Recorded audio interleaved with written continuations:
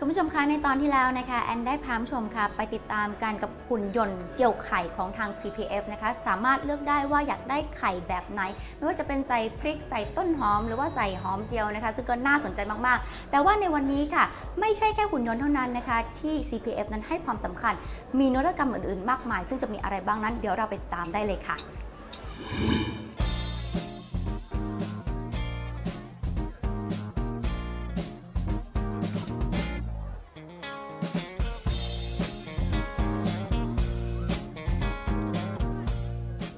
CPF เนี่ยใช้เวลาพัฒนานวัตกรรมเนี่ยนะครับ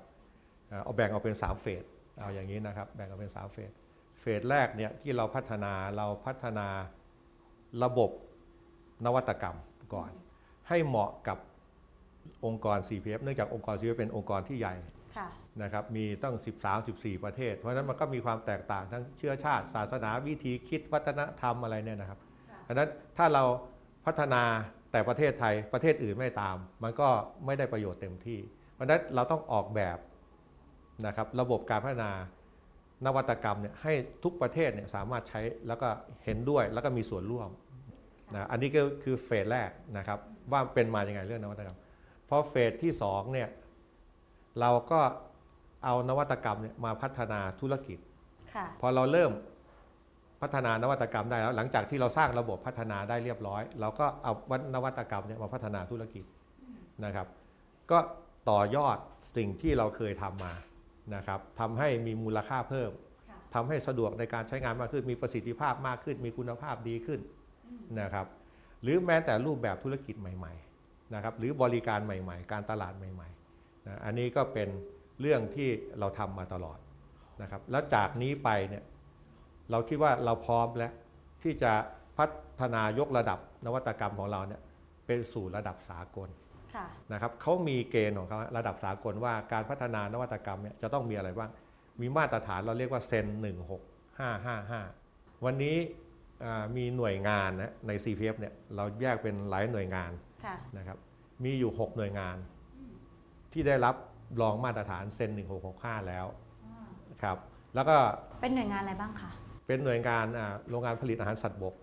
โรงงานผลิตอาหารสัตว์น้ำค่ะแล้วก็นม CP เมจินะครับแล้วก็โรงงานอาหารสำเร็จรูปนะครับแล้วก็อ่าโรงงานอ่าอุปกรณ์การเกษตรนะครับแล้วก็อีกอันหนึ่งก็อ่าอุปอุปกรณ์โรงงานนะครับเครื่องจักรโรงงานครับเนี่ยพวกนี้ก็เป็นหน่วยงานที่มีการพัฒนานวัตกรรมเนี่ยค่อนข้างจะเยอะ ก็ส่งก่อนแล้วก็ได้รับการตรวจประเมินก่อน แล้วปีนี้เราก็จะส่ง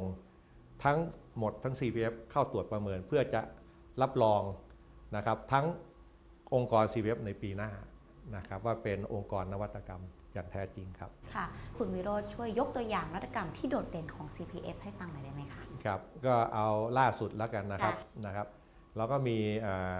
อกไก่นุ่มสุขภาพอ่านะครับ ตรงนี้เนี่ย ตัวนี้นี่ก็บอกตอนนี้ยังเป็นพระเอกอยู่นะครับเอ่อตลาดส่งออกหลักๆก็คือญี่ปุ่น ตลาดรองก็ที่ยุโรป ในญี่ปุ่นนี่90%ในยุโรปนี่ไม่เยอะยังไม่เยอะนะครับ แต่ในอนาคตก็เชื่อว่าในยุโรป เพราะว่าในยุโรปเนี่ยเป็นประเทศที่ชอบทานเนื้อหน้าอกอยู่แล้วไวมีทค่ะนะครับคิดว่าคงขยายตัวได้อย่างแน่นอน แต่ที่ญี่ปุ่นเนี่ยปกติเอเชียเนี่ยเขาชอบทานเนื้อน่องค่ะนะครับเที่ยวนี้เราไปเปลี่ยนพฤติกรรมของคนญี่ปุ่น ให้มาชอบเนื้อหน้าอกมากขึ้นค่ะนะครับ เพราะว่าเอ่อเราเรามองว่าเราจะทำเป็นอาหารสุขภาพ แล้วโดยเฉพาะสุภาพสตรีญี่ปุ่นที่รักษาสุขภาพรักษาหุ่นเนี่ยค่ะก็จะชอบทานอกไก่นุ่มนะครับ เพราะว่าไม่ใช่เป็นอาหารทอดหรือย่าง low calorie high protein ทานแล้วจะไม่ทำให้เราอ้วนนะครับอันนี้แล้วกลายเป็นว่าเขาก็สุภาพสตรีวันนี้ก็จะไปชวนคุณพ่อคุณแม่ที่สูงอายุ เลิกทานของทอดของย่างมาทานอกไก่นุ่ม แล้วก็เชื่อว่าตลาดอกไก่นุ่มในญี่ปุ่นเนี่ยยังโตไปได้อีกเยอะครับค่ะแล้วแตกต่างจากอกไก่นุ่มปกติทั่วไปยังไงอะคะอาอกไก่ปกติเนี่ยมันจะไม่ชุ่มค่ะนะครับทานเนี่ยมันจะไม่ชุ่มไม่นุ่ม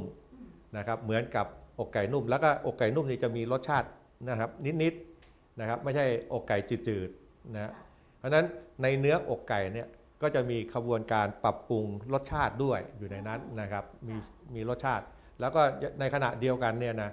ยังเก็บรักษาไว้ได้นานนะแล้วก็สามารถทานได้แม้กระทั่งตอนที่ยังเย็นๆในใส่ในสลัดอะไรพวกนี้นะครับ เหมาะกับสลัดโดยเฉพาะเลยครับ ค่ะ แล้วมีอะไรมารับรองความเป็นนวัตกรรมของผลิตภัณฑ์ชิ้นนี้ไหมคะอ๋อความโดดเด่นของชิ้นนี้ก็คือ ตัวที่จะพูดได้ก็คือยอดขายนะครับใน 3 ปีที่ผ่านมาเนี่ยเราขายตัวนี้ไปเฉพาะตัวนี้ตัวเดียวเนี่ยเราขายส่งออกไปกว่า 3,000 ล้านบาทค่ะ นะครับแล้วก็ยังเชื่อว่านะครับก็จะยังเติบโตต่อไปอย่างนี้อีกครับทำให้ยอดขายโดยรวมเนี่ยเพิ่มขึ้นกี่เปอร์เซ็นต์คะจากการมีนวัตกรรมชิ้นนี้ค่ะก็ถ้าสำหรับเป็นยอดส่งออกเท่านั้นนะครับค่ะก็น่าจะราวๆสัก3-4เปอร์เซ็นต์ครับ3-4เปอร์เซ็นต์ครับ